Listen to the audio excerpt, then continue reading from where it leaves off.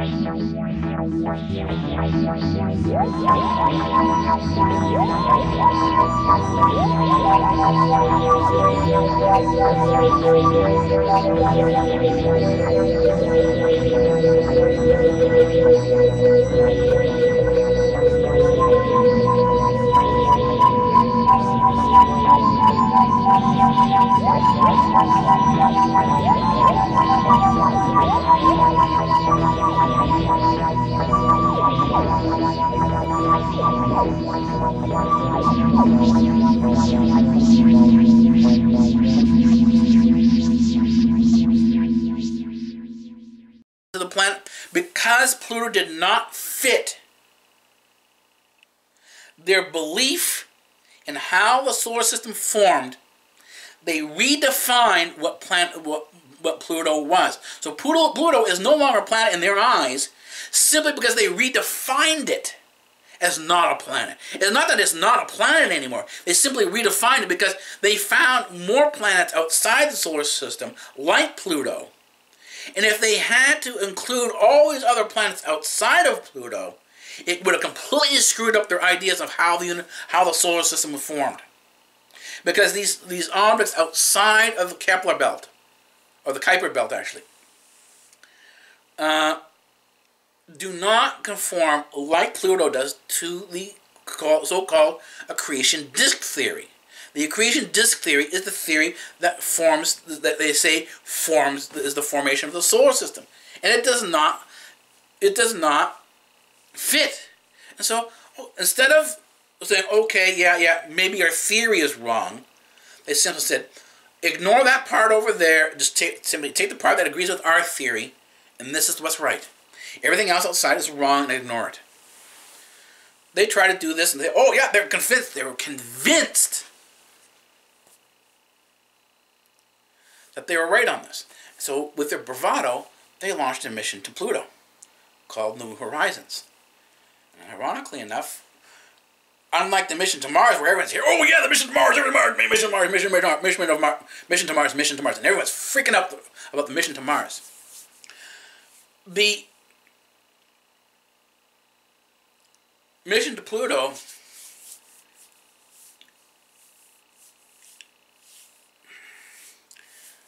was well publicized up until the point it got to the planet.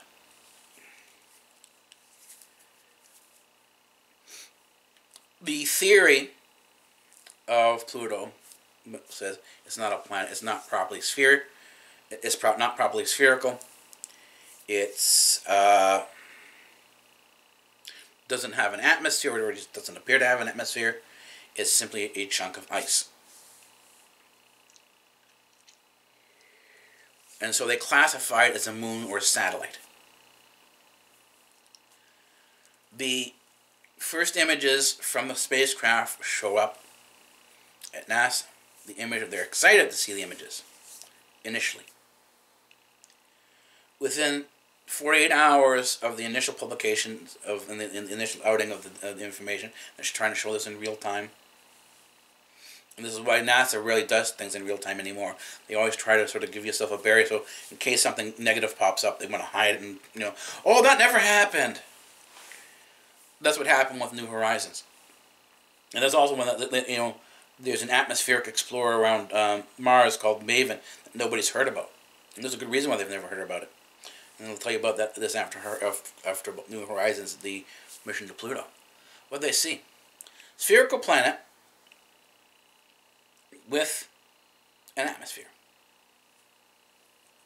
Something they were convinced didn't exist. So the mission New Horizons went away. They simply stopped talking about it. There was another project called MAVEN, which looked at the Martian atmosphere to determine what happened to the Martian atmosphere.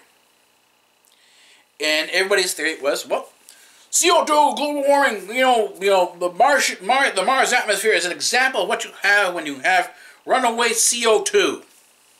Global warming. This is a result, this, this is a result of that. This is our warning that we need to take care of our planet.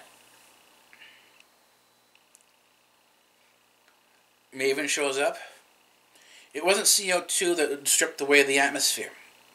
It was solar activity on the sun.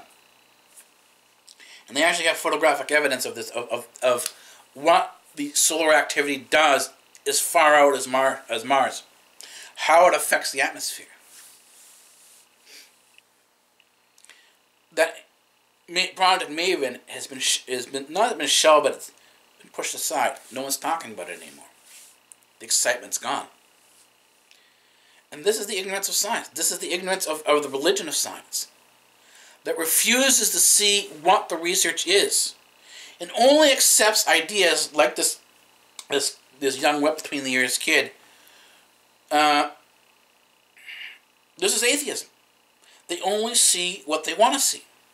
If something does not fit in with their view of the world, it's wrong, and they dismiss it and ignore it. And yet they call, and I know, ironically enough, the definition of ignorance is to ignore something. That's why ignorance is ignore. The root word of ignorance is ignore. You can't be ignorant if you're if you're not ignoring something. If you don't know something, right? If you don't know something, then you're not ignorant. You simply don't know it. It's a lack of knowledge. But if you know something, if you have the capacity to know something, and you ignore it, you turn your head away and say, I'm not going to look at that, I'm going to ignore it, you're ignorant. And this is Neil deGrasse Tyson. This is most, most of these people who support atheism are ignorant.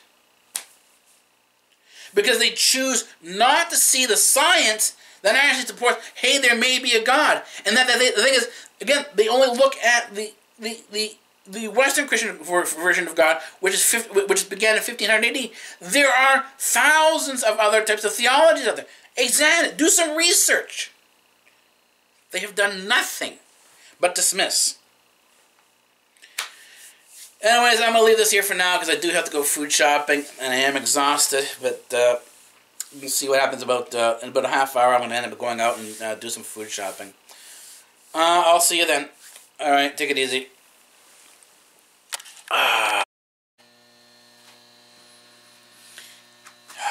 Alrighty, it is 11.02. Yeah, 11.02 a.m. It is 11 hours and 2 minutes into the day of Saturday, April 23rd, 2016. Although, from the research that I've been doing, I'm still very much in a heavy thought mode, so maybe this uh, walk, the peripatetic session I'm going to do now is going to do me some good because it will allow me to, to mull over a lot of things I've been thinking about, particularly vis-a-vis -vis the research. Uh, one of the things I forgot to mention in the last segment is that there's an assumption that the Earth is only 4,000 years old or 6,000 years old or something like that. They've got a, a biblical date set for how old the Earth is. And this is based on the fundamental understanding of the Bible. Well, not so fundamental. The fundamental understanding of the Bible uh, basically understood un, uh, emerged in 1800 year uh, 1800 AD 1800 years after Christ. And they decided that the Bible these scholars decided the Bible's not real it's a mythical book because well it was never put together by Christ to begin with. Well no and the thing is, is that uh, you're being told that this was a, a, a Christ thing or, or God's word because of people who had a view 1500 years ago and evolved at 1800 years ago. No, no, no, no, people 500 years ago decided that the Bible was the ultimate truth, and that's the way it, the way it worked. Uh, then, not even 200 years later, well, two, 300 years later, they decided that, well, you can't question the gospel, you can't question the Bible, everything in there is absolutely true, this is the Word of God, this is what He teaches. Although if you read the life of Christ, you're going to go into the gospel and eventually read the life of Christ, he's always talking about mercy. But the thing is, they also ignore the fact that uh, the Bible was written uh, 300 years ago. was actually assembled. Not 300. This is where my mind is going off. 300 AD is when it was written, put together. And it was actually rewritten. It wasn't uh, written at the time in terms of when it was wasn't wasn't one single book. It was a variety of manuscripts, and they, they, what they did is they brought these manuscripts together. These manuscripts happened to be in Greek. Why? Because well, look at the Rosetta Stone. Uh, go and do a little bit of research on Rosetta Stone. You will find at that particular period of time that Greek was the common language, the way English is today, and so well, you had a variety of texts around you from a variety of different languages.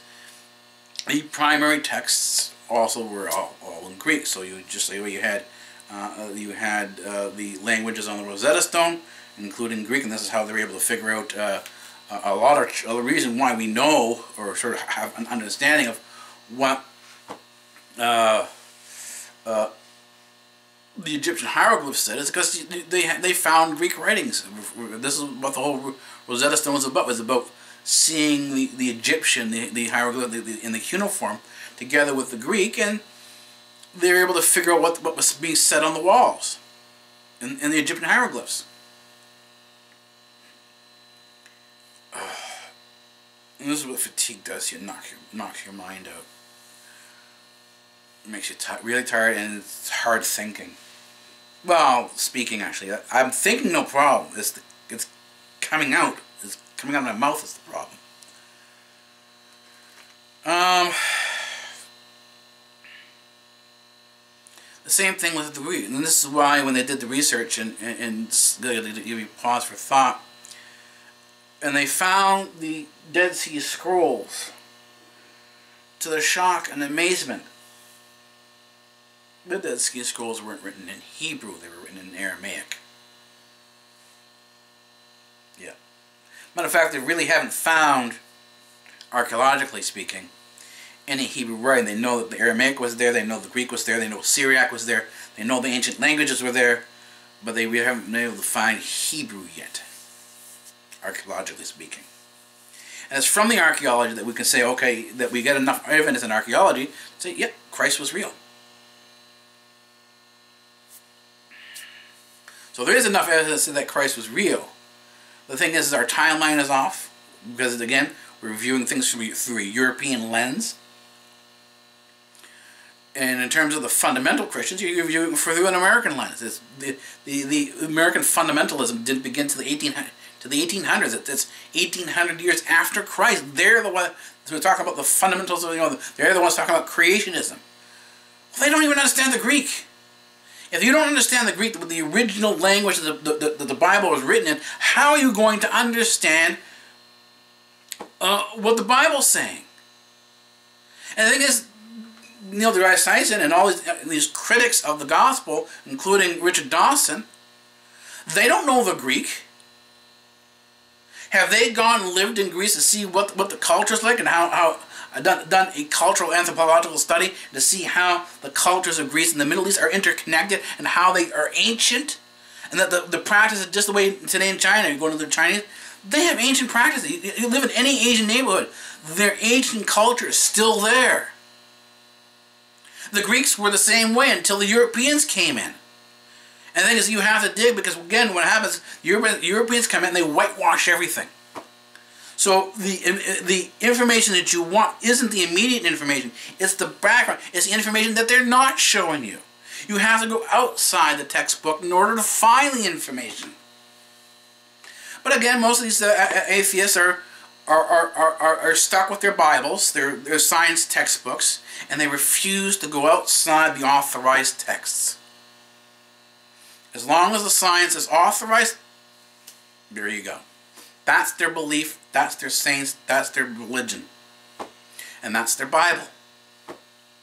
And they stick to it with their guns, like the people on the right, because the uh, atheists will not will, will go and tell you we have to go and correct the world, we have to create regime change, we have to you know to do this thing better, and in order the way to the only way to do regime change in order to improve the world, the social engineering, we have to burn the old structure down and tear it down and build burn it down, and build a new one out of the ashes.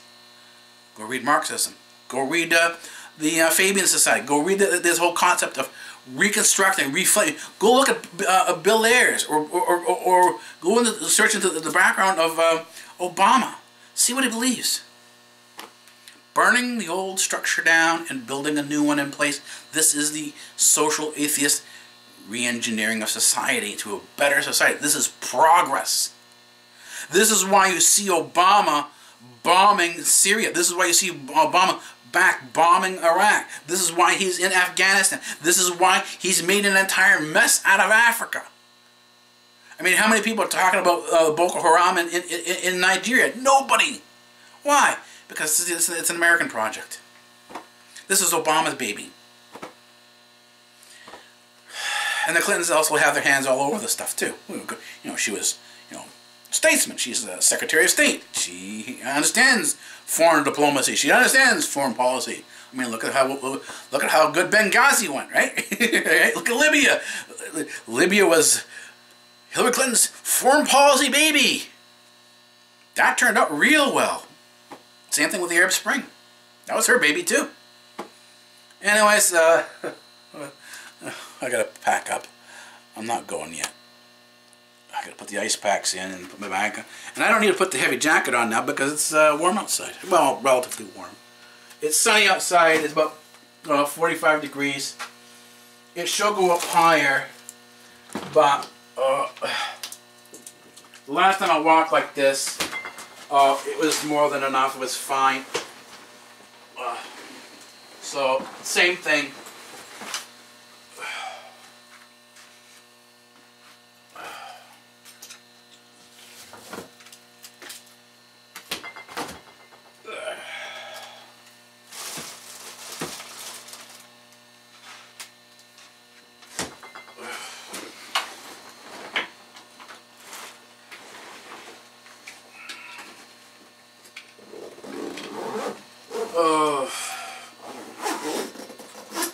Walks are hard. They they do represent a difficulty. But they're also enjoyable. I said, when you do the research like this and you see the various different things, and I said, I've done more of background research into Hillary Clinton, more into the geopolitics of foreign policy, the psychological behaviors and sort of see what's going on. How, uh, together with Hillary Clinton and uh, Bill Clinton and George Soros uh, and Obama, they have turned the United States into a police state. This is actually one of the reasons why I'm walking, is I realized this was happening, uh, beginning to happen more around, around the time Clinton was coming up. Bill Clinton the uh, initial seeds for the uh, American state uh, was being formed and I realized that the United States was slowly starting to become the uh, sort of the mirror reflection of uh, the United Socialist uh, States of America. So now we have the USSA. And this has formed my protest as getting rid of some of my documents. This got me arrested and put in jail for a bit. I am one of those activists who've been in jail uh, for fighting for freedom in the system. I saw all that's happening now, including what's happening with the police uh, and the way they've become so militarized. I saw this happening back in 1995. And uh, by 2000, uh, I had been put in jail and uh, the beginning part of my work to do the further research has uh, began at that point in time. Anyways, uh, uh, I'm going to go now and I'll talk to you when I come back and uh, see you then. I'm back and this segment is going to be rather short because the uh, memory card is almost full. So that will put a uh, damper on the uh, discussion here.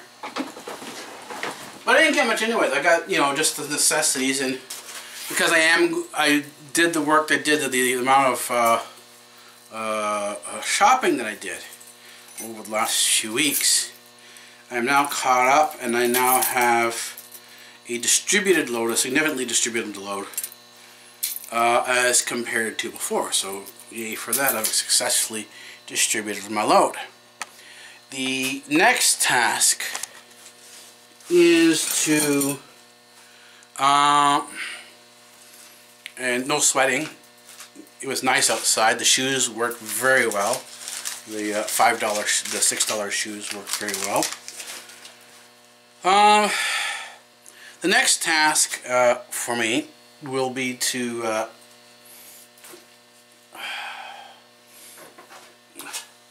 manage my costs. See what happens is when you go out, oops, I didn't, I didn't have the camera follow me.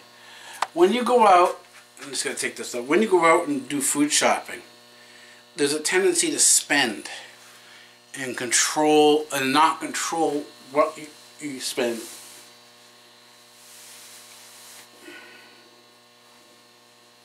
This is a standard nor normal tendency. Say, well, I haven't bought much, so no harm, no foul, right? Because you see you don't have that much in your bag. So your tendency is to push the amount again. Not too much, but because you remember you're not going to get big, large things, but uh, enough so that it, it uh, it's substantial.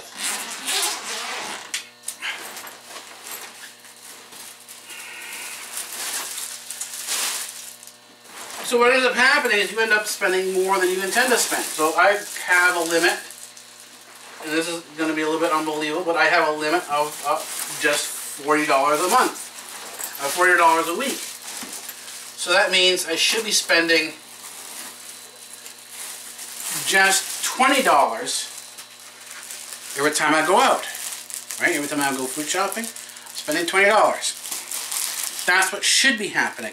I made that, I did that limit today, but in the prior the in the in the shopping uh, the shopping day prior, I didn't do that.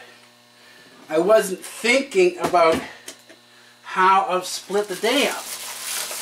I was just thinking, well, you know,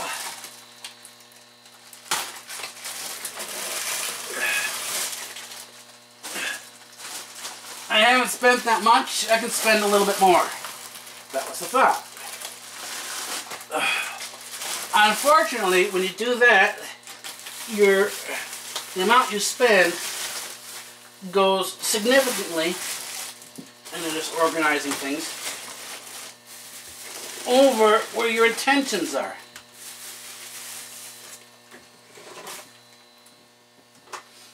And that was certainly the case. That was certainly the case. This sort of last time I was out. That was certainly the case. So my expenditures for the week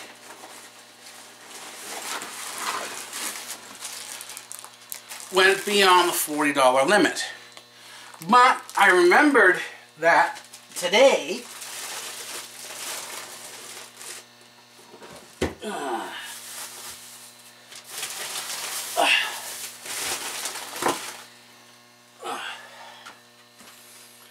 and stayed within the uh, $20 limit. So I was happy for that. I was happy that I was able to stay within the $20 limit that there wasn't any particular issue. So, uh, yeah, yay for that. And I'm still going over things in my mind, the, the things I worked on yesterday and last night and this morning. Uh, I'm still rolling them over my mind.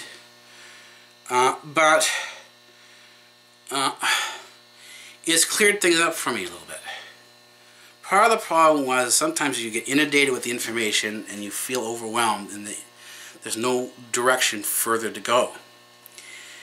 And this is what happens. When the days I don't vlog, when there's massive, a good amount of gaps in the vlog, those are the days I'm struggling with the information. I'm stuck, and I don't know which direction to go in next. And that's where these walks, these the, the peripatetics, the thought thoughtful walking, the philosophical walking, this is where it helps. You sit, you go out, you think, you mull. And then when you come back, maybe, and usually for me, I've got several options out. Now to sit down and try them out. Anyways, I will see you in the next segment of the uh, Big Bang Theory's BTS vlog. Uh, I'll give you a time and date stamp before I forget.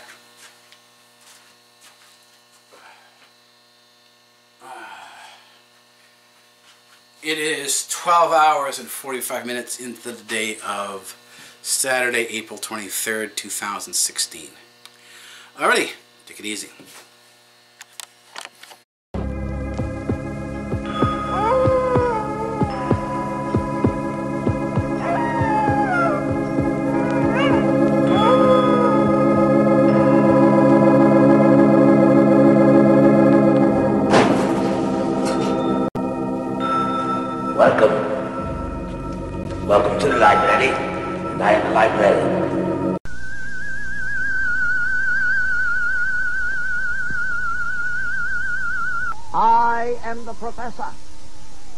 Professor of what?